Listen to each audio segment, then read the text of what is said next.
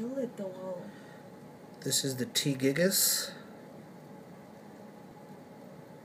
in mid molt, but it is on the side of the container. It's molting out like it's gonna fall. But I don't want to touch it.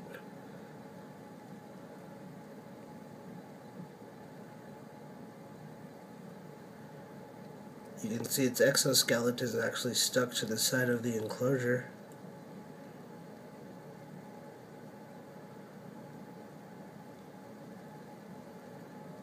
I was just going to do a feeding video of the slings and saw this.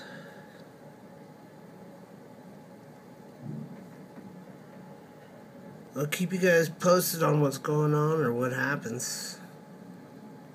Pretty interesting though. Thought I would share it.